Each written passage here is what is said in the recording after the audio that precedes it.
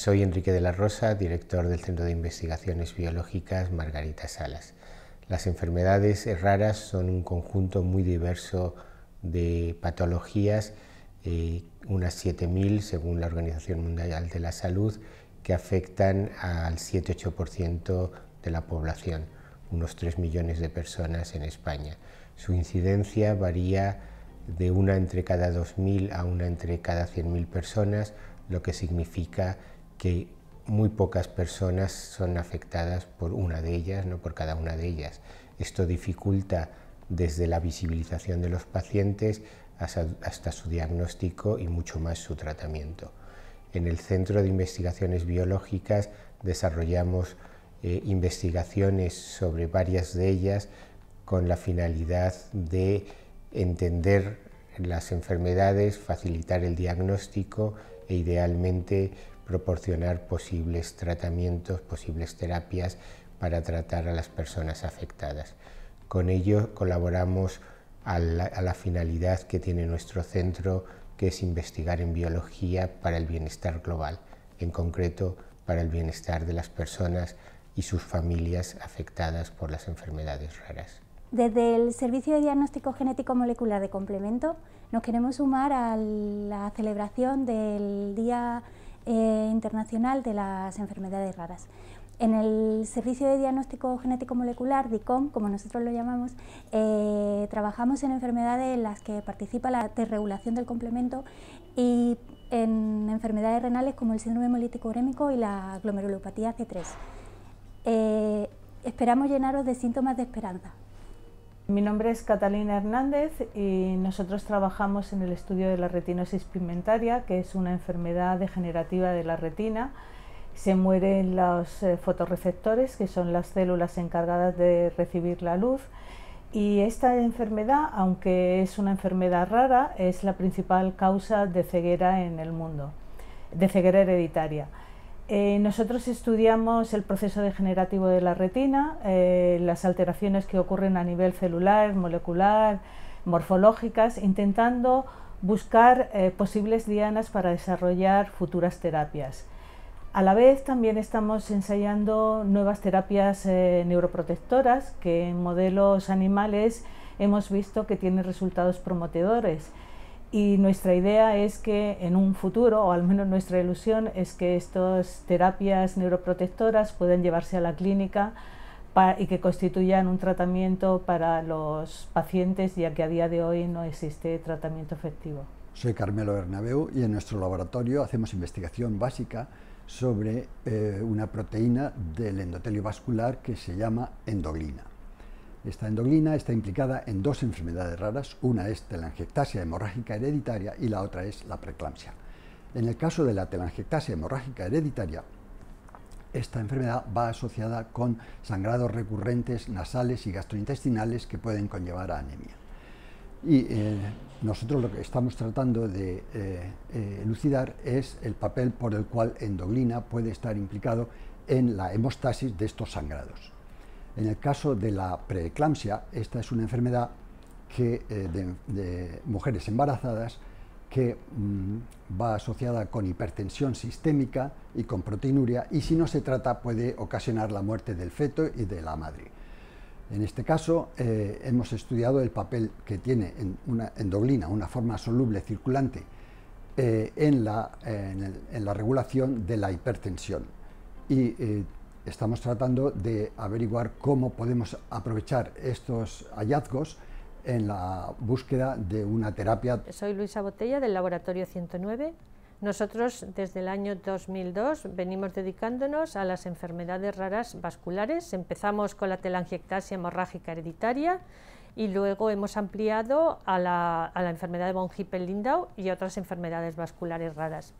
Durante este tiempo nos hemos dedicado a hacer diagnóstico, a conocer mejor la enfermedad y hemos conseguido cuatro designaciones huérfanas, tres para la telangiectasia hemorrágica hereditaria o HHT y una para von Hippel-Lindau o VHL y son medicamentos de reposicionamiento que ya existen en el mercado. Y estoy con mi grupo pues con Ángel Cuesta, el doctor Ángel Cuesta, que es especialista en von Hippel-Lindau y modelos animales, eh, Virginia, que ha hecho su tesis aquí y en, telangiectasia hemorrágica hereditaria y también se dedica a von Hippel-Lindau, y a Lucía, que además eh, su puesto mm, es técnico de laboratorio, nos ayuda en todo y ha estado también eh, subvencionada en base a un convenio con el CSIC entre la Asociación HHT y el CSIC. O sea que tenemos como foco a los pacientes y tenemos mucha relación con las asociaciones de pacientes y con los clínicos. Soy Ana Martínez, eh, bueno, el investigador principal del Grupo de Química Médica y Biológica Translacional del CIB y en este laboratorio, entre otras enfermedades, tenemos proyectos de investigación en descubrir fármacos para la esclerosis lateral amiotrófica. Una enfermedad rara que afecta a la muerte progresiva de las motoneuronas del paciente. Es mortal y para la que no existe un tratamiento eficaz al día de hoy. Nosotras nos dedicamos a, encontrar fármacos nuevos. Tenemos un equipo muy grande, aquí algunas de las representantes, y la verdad que lo que queremos es dar las gracias a los pacientes. Es una enfermedad donde los pacientes son motores nuestros, tenemos reuniones con ellos y son los que dan vida realmente y nos dan ánimo a nuestra investigación. Y bueno, pues eh, en especial queríamos agradecer a muchos esfuerzos de todos ellos y bueno, y en concreto a Paco Luzón que con su fundación y su energía ha hecho visible una enfermedad invisible. Y a la Comunidad de Madrid por creer en nosotros y llevar financiando nuestro proyecto los últimos cuatro años. Soy Ángeles Martín Requero y dirijo un, laboratorio en el que nos dedicamos a estudiar las bases celulares y moleculares de dos enfermedades raras, como son la demencia frontotemporal y la esclerosis lateral amiotrófica.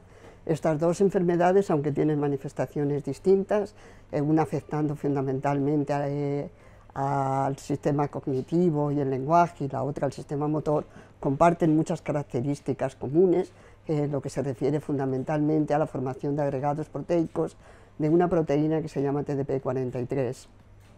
Estas enfermedades, aunque son minoritarias, tienen un alto impacto social y para el paciente y para sus cuidadores y en la actualidad no existe ningún tratamiento eh, eh, eh, realmente eficaz para tratarlas.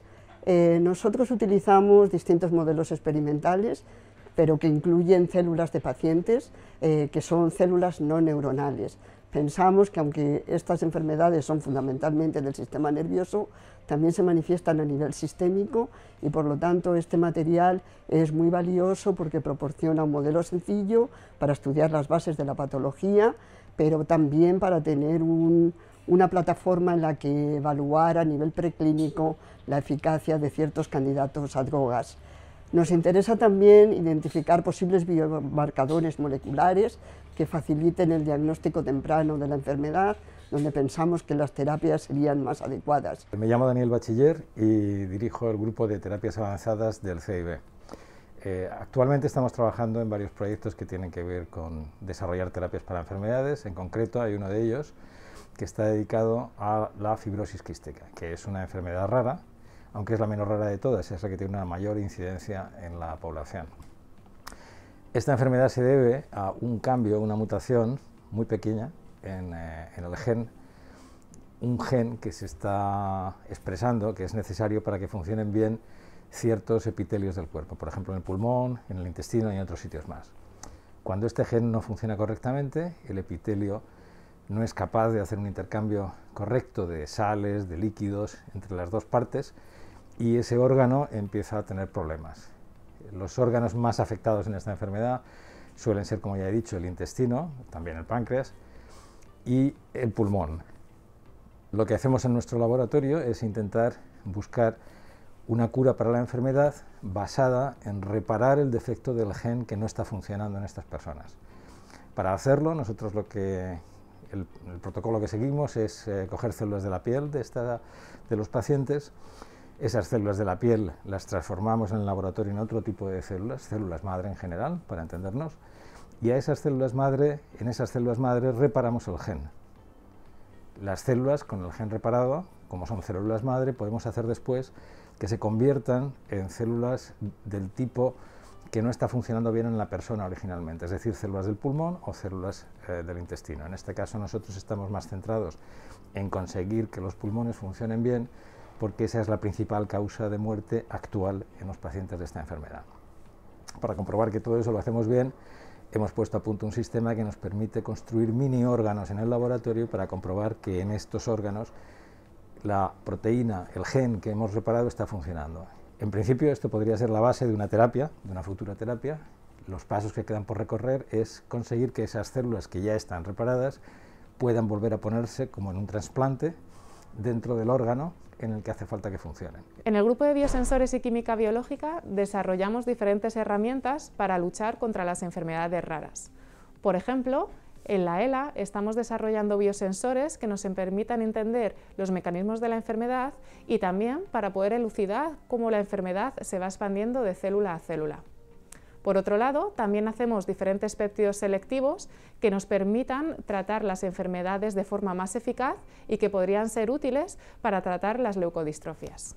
Mi nombre es Carlos Fernández Tornero y dirijo el laboratorio de estructura de ensamblados macromoleculares en el cual nos dedicamos al estudio de una enfermedad rara conocida con el nombre de xeroderma pigmentoso, que se caracteriza por una reducción en la capacidad para reparar ciertas lesiones en el ADN, como son aquellas que eh, tienen una estructura muy voluminosa y van a afectar a la doble hélice. Em, entre ellas podemos destacar las provocadas por la radiación ultravioleta de la luz solar o la de ciertos tratamientos de quimioterapia. En concreto, hemos estudiado la enzima XPG, que forma parte de los mecanismos de reparación del ADN de nuestras células. En concreto, lo que hace esta proteína es cortar el ADN ahí donde está dañado, dejándolo listo para su reparación.